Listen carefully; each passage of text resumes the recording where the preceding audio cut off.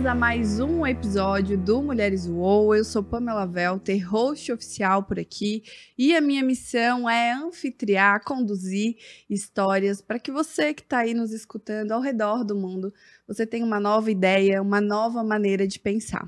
Hoje eu estou especialmente feliz recebendo uma mulher que realmente admiro muito, foi, ela foi minha líder e eu acho que a, a vontade de trazer ela aqui também foi motivada pelos anos que vivi trabalhando na empresa que a gente vai comentar aqui hoje e que mudou completamente o meu olhar sobre a vida, o meu olhar sobre os negócios e também as minhas oportunidades. Porque o Mulheres UOL, a UOL Live, esse estúdio, ele com certeza existe por conta, por meio do Impact Hub Floripa.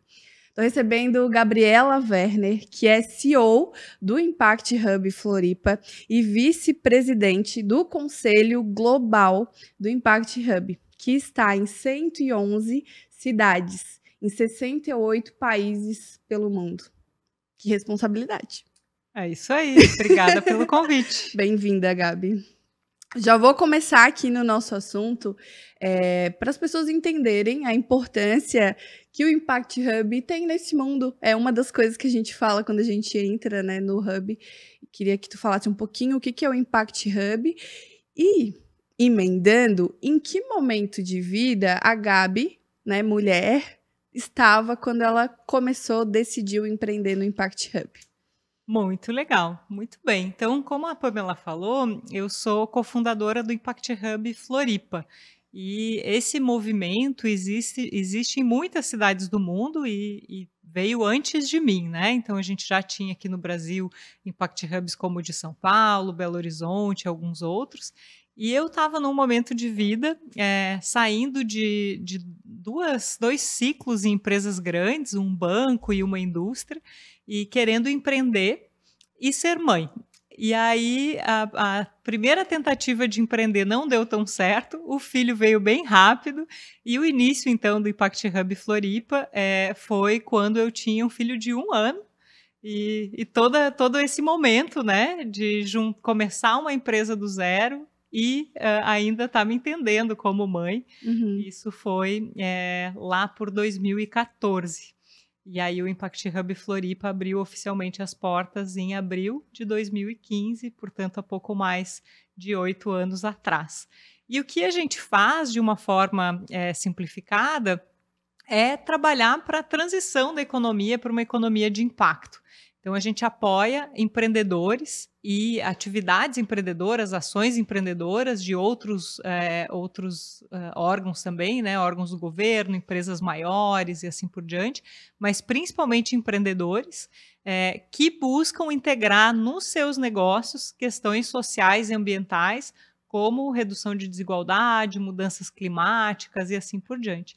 E a forma de fazer isso é em comunidade. Uhum. Eu acho que tem a ver, né, com as Sim. transformações que você que você quer dizer, mas a gente faz isso junto, né? Os espaços de coworking, os programas de aceleração para as empresas, eles são todas grandes desculpas para a gente juntar essas pessoas é, e para elas aprenderem em conjunto, fazerem negócios entre si, uhum. perceberem que não estão sozinhas, né? Sim. E conseguirem avançar com mais força. Que de certa forma elas têm um propósito em comum, né? Talvez elas nem saibam, né? Tanto assim. E fazendo aqui um, uma entrada nessa história que é toda tua, né, em relação ao Impact Hub, eu acho que uma das coisas que mais mudou a minha forma de ver os negócios é porque eu vim de, uma, de um lugar onde eu fui 10 anos é, gerente de uma indústria, né? Então, para mim, o que importava era a meta, era chegar lá, era, enfim, né? Então, minha cabeça muito nesse lugar. E daí eu chego no hub que tem uma cultura totalmente voltada para as pessoas. E é difícil isso, né? Porque é muito fácil tu falar que a cultura é para as pessoas, mas viver esse dia a dia é muito difícil. E onde que eu vi isso, né? Que era realmente é, a forma de liderança, é, a própria contratação do Hub, né, de apostar em novos talentos, em ter é, a grande maioria ali dos seus estagiários. Então, o crescimento do Hub também passa pelo crescimento deles, e eles já têm é, ter a possibilidade de inovação. Claro que aqui é, existe uma grande chance de erro, né? Porque a gente só tem um lugar muito inovador quando a gente aceita a possibilidade do fracasso. Quando eu dou a possibilidade de você errar, enfim. Então, isso foi o meu primeiro choque. Porque, ai, sério que eu tenho que olhar para as pessoas? sério que eu tenho. Porque para mim estava tudo bem, eu só, né? Então. E, e foi um choque para os dois lados, tanto o hub me receber e tanto eu receber o hub. E isso foi uma das coisas que mais enriqueceu a minha jornada, porque trabalhar com colaboração não é fácil ela é muito legal no papel, mas ela é muito difícil no dia a dia. E eu acho que as minhas meninas, coitadas, cansam de ouvir isso, assim. Porque as pessoas dizem não, existem opiniões conflitantes, porque até a gente chegar numa decisão, a gente precisa de muitos debates, muitas voltas em um, uma mesma montanha ali. Que, então, assim, não é top-down. Então, é muito difícil trabalhar em colaboração, mas é muito mais gratificante. Né? E, legal. E isso foi uma coisa que eu levei e eu posso depois, ao longo da nossa conversa, falar mais sobre isso. Eu queria te perguntar, Gabi, o que que são...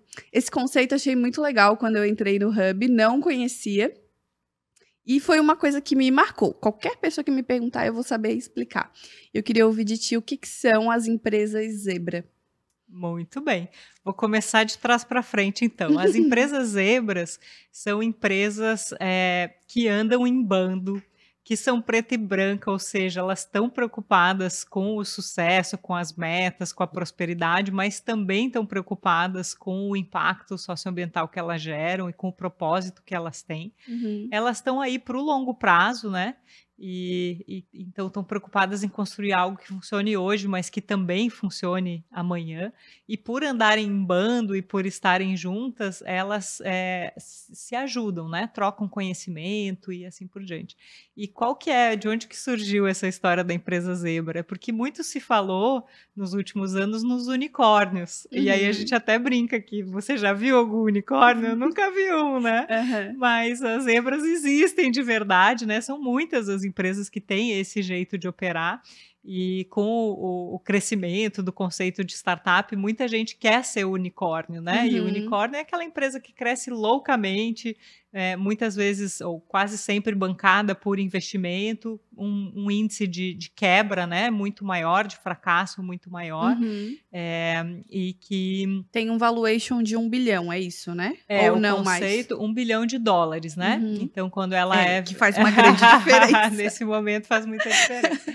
Então, quando a empresa é, é, vendida ou é investida a um valuation de um bilhão de dólares, a gente chama essa empresa de um, de um unicórnio, né? Que é o caso é, das grandes é, empresas de tech do mundo, mas também do Uber e empresas desse tipo, é, que são os, os, unicórnios globais. Aqui no Brasil, a gente tem um pouco mais de uma dezena aí de, de unicórnios já confirmados.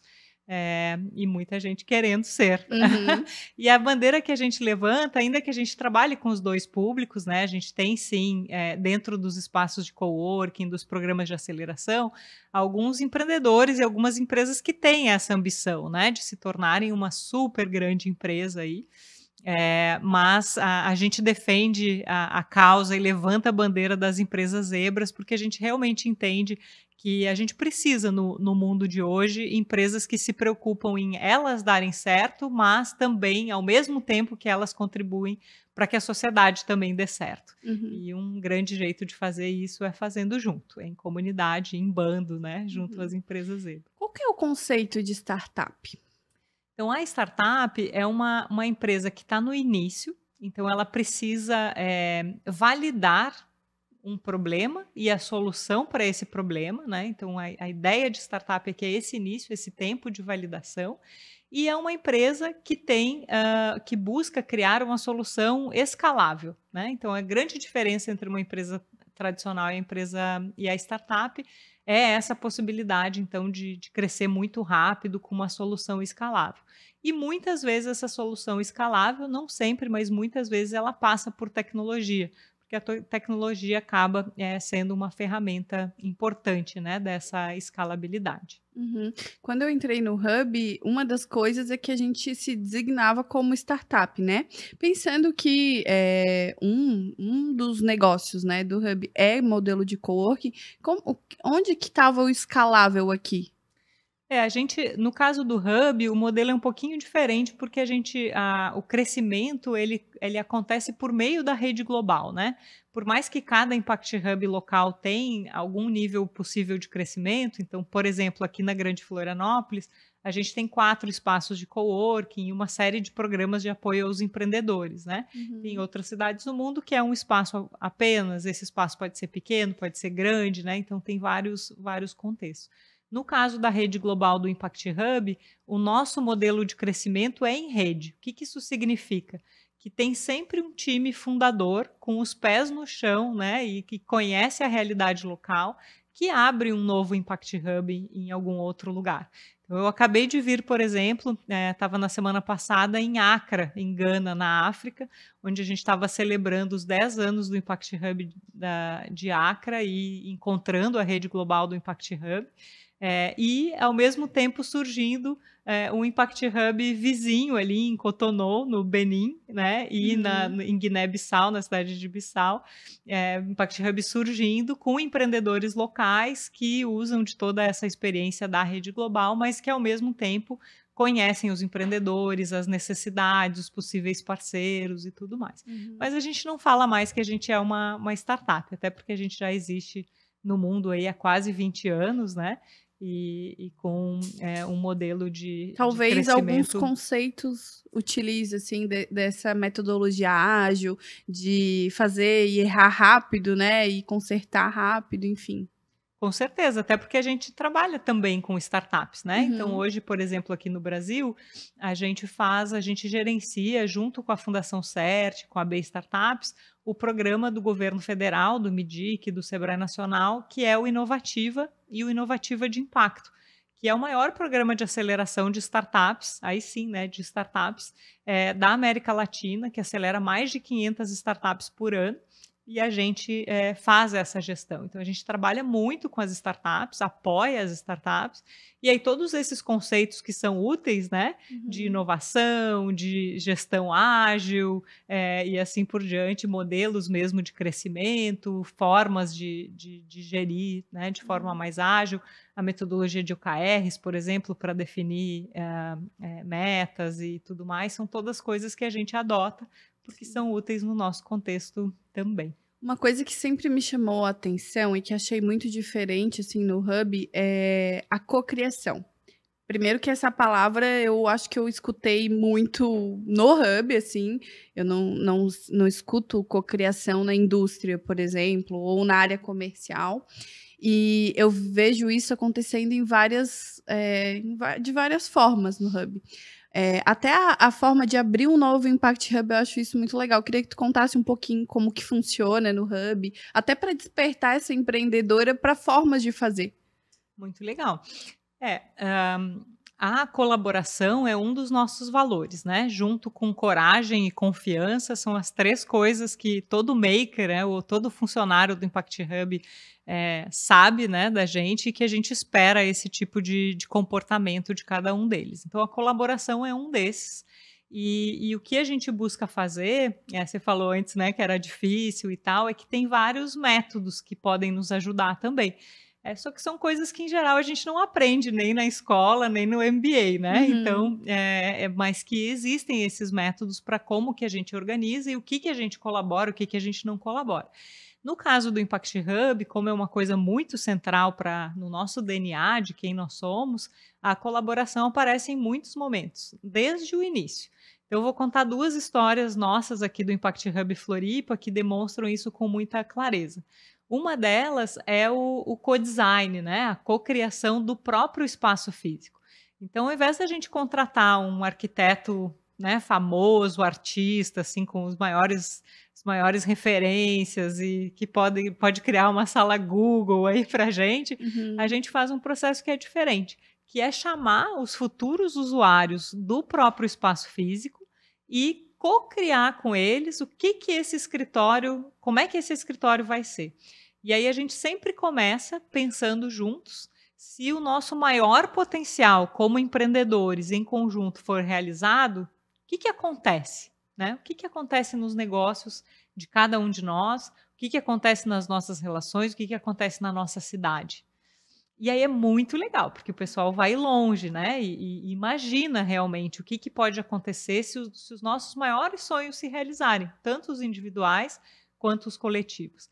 E aí que vem a pergunta seguinte: qual que é o escritório, qual que é o ambiente de trabalho que mais favorece a criação desses sonhos? Uhum. E aí só aí a gente faz é, o, a maquete e os próprios participantes fazem, né? Se mesmo não sendo arquitetos, a gente sai desse workshop com uma maquete que a gente usa Lego, massinha de modelar, papel colorido, um monte de coisa, e sai com a maquete de, olha, aqui eu preciso de um espaço de concentração e silêncio para fazer as minhas calls, aqui eu quero um espaço onde os empreendedores se esbarrem mesmo e troquem ideias e essa, é, esse momento aconteça, aqui eu preciso de um espaço maior quando a gente for reunir a comunidade toda para fazer eventos e tal, e aí a gente vai desenhando os espaços dessa forma.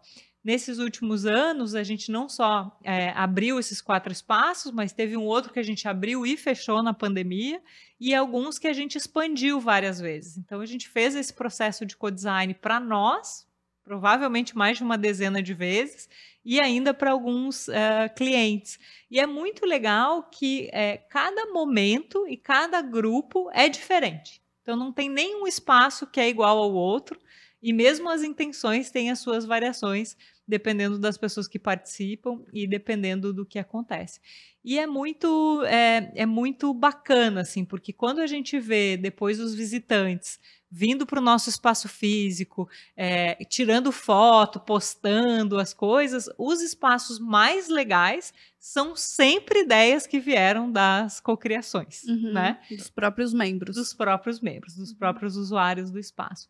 E aí um outro exemplo que eu acho que é, que é bem interessante, assim, é que no início, quando a gente começou o Impact Hub, a gente precisava de um pouco menos de 200 mil reais para botar o, o, primeiro negócio de pé, né?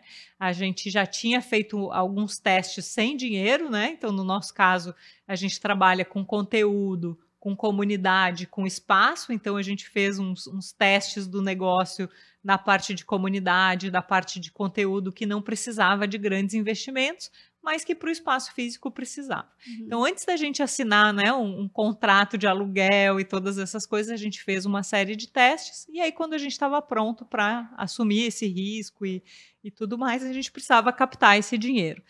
O jeito mais comum da gente fazer isso ou é né, passar o chapéu aí com a família e com os amigos, ou buscar um investidor anjo.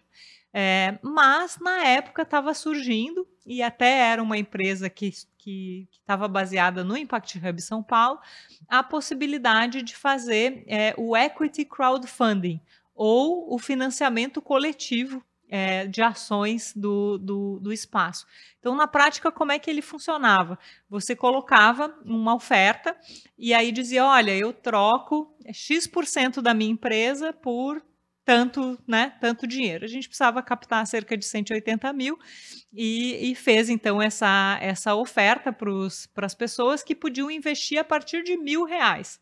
E aí isso também é super legal, né? Porque uhum. em vez da gente ter um investidor anjo que colocasse os 180, a gente teve 54 indivíduos, e aí provavelmente várias de nós poderia estar uhum. lá, né? Sim, eu compraria.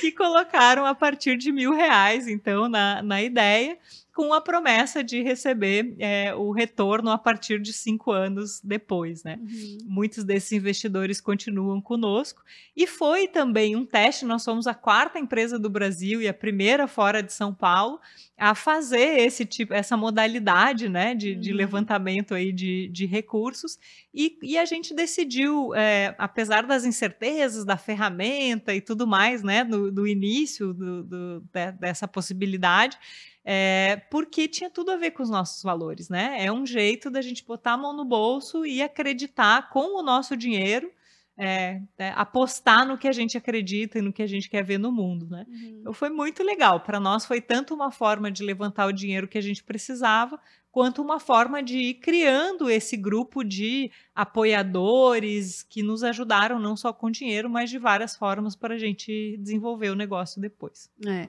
a, quando a gente entra em um lugar e a gente está disposto ou disponível para aprender, né, as formas diferentes de fazer, é, eu acho que foi por isso que enriqueceu tanto a minha jornada.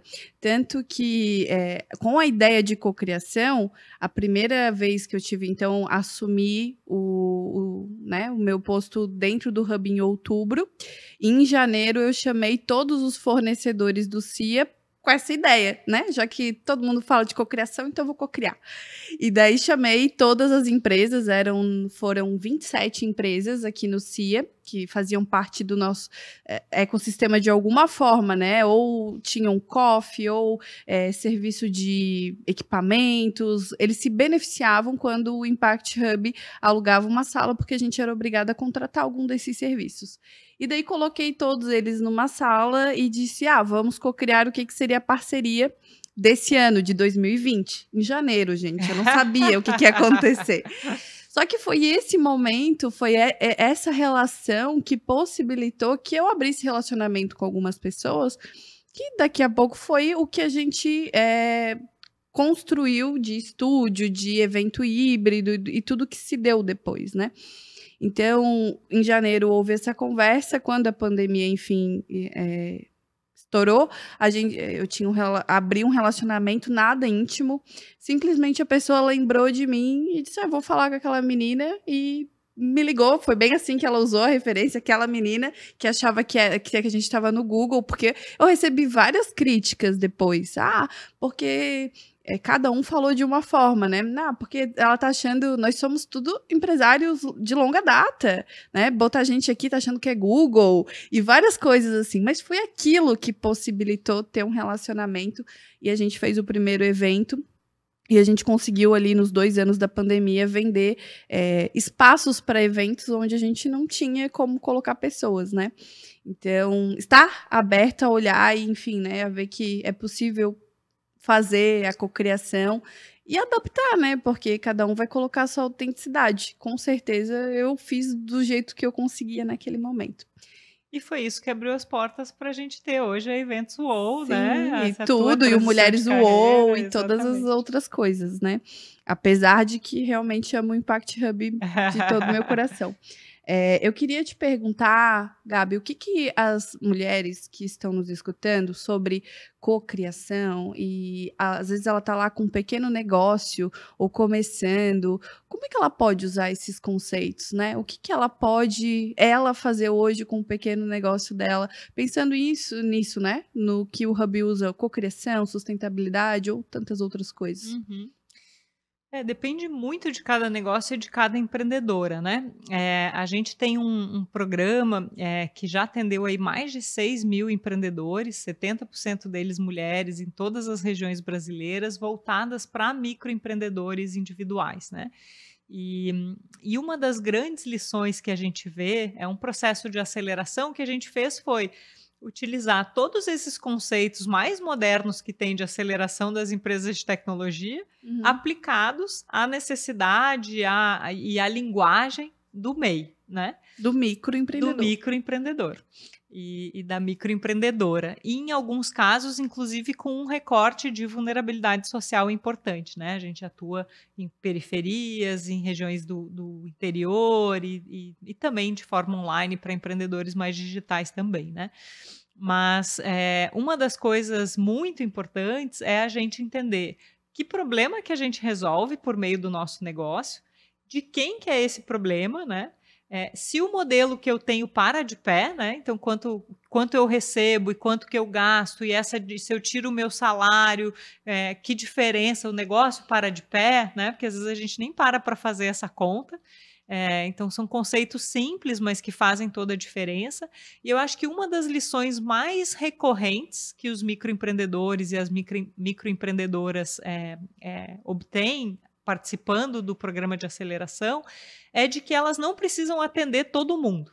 que é bom você ter uh, alguma, é, alguma especialização. Uhum. Então, eu vou dar um, um, exemplo, né? A gente uh, recentemente teve um casal de fotógrafos que participou da aceleradora, o Salto, né? Que é a aceleradora de, de microempreendedores. E no início do programa, eles uh, se perguntavam, mas você tira foto do quê? Ah, não, qualquer coisa. De foto para empresa, foto 3x4, casamento, qualquer coisa, né? Onde me chamam eu vou. Mas aí o que acontecia é que eles não eram referência para ninguém, né? Não dava para pensar num ponto ou um não ponto ou, é, né? Vou conversar nas redes sociais, mas vou conversar com quem e tudo mais. E aí eles tinham tido recentemente uma série de três é, é, é, estúdios, assim, momentos de fotografia ou eventos para pessoas da terceira idade. E aí eles resolveram se especializar nisso. Em fotos de família, com pessoas idosas, bodas de ouro, aniversário de 90 anos e uhum. tal. E aí eles criaram todo o portfólio deles, as redes sociais, pegaram as recomendações, pediram recomendações de um cliente para o outro, pensando nesse público, e assim eles se tornaram diferentes conseguiram ter um preço diferenciado, recomendação de um cliente para o outro uhum. e assim por diante, né? Eu teria inúmeros exemplos desse, desse tipo voltados para alimentação, para serviços gerais, para beleza, né? Com é, empreendedores de vários tamanhos. Então, acho que a lição é quando a gente tem um pequeno negócio, a gente não precisa atingir todo mundo. A gente precisa ter uma base de clientes satisfeitos que nos recomenda, de preferência recorrentes, né? Uhum. E com um perfil uh, definido. Ou buscar isso, né?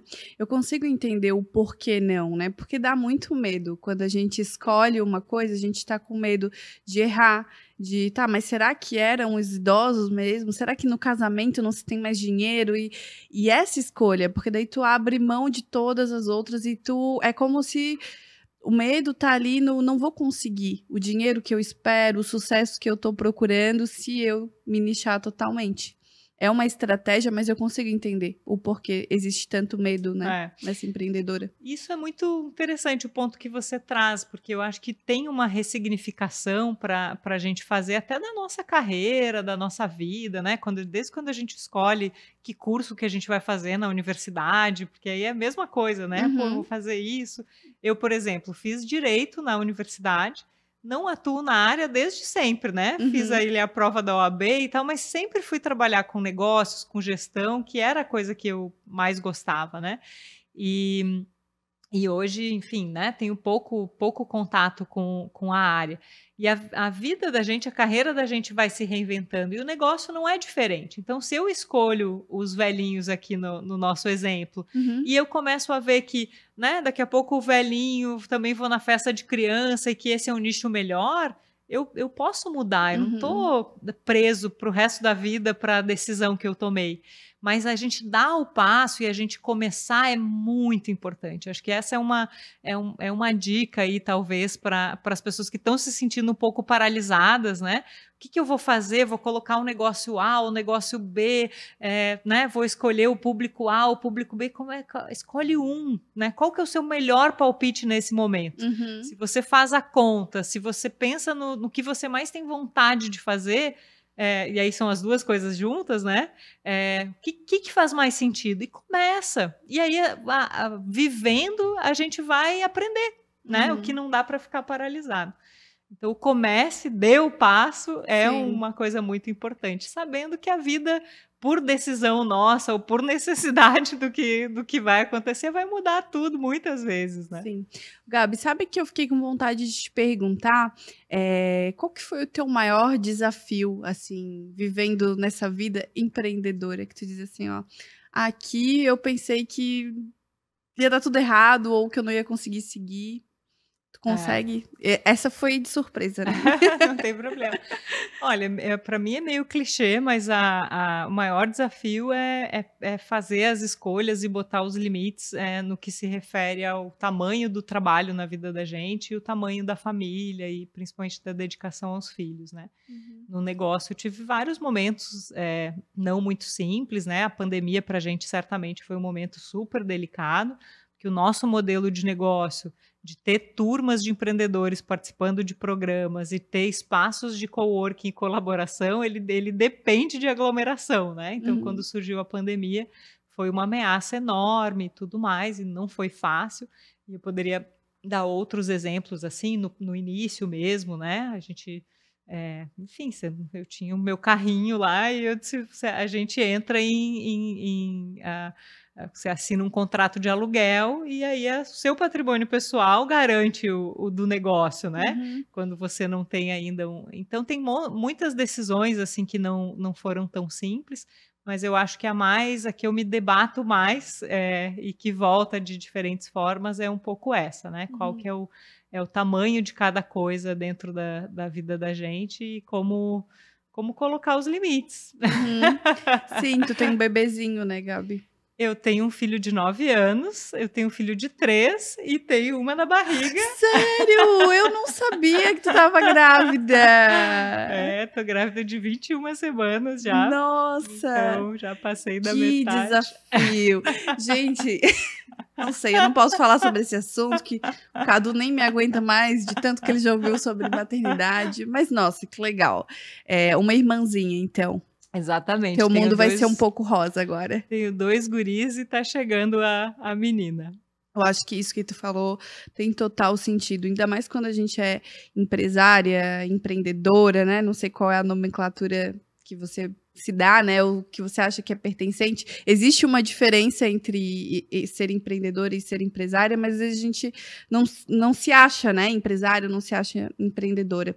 É, definir o tamanho que as coisas têm na vida realmente é um, um grande desafio, porque o teu crescimento também passa pela quantidade de trabalho, de energia que tu tá disposta a colocar.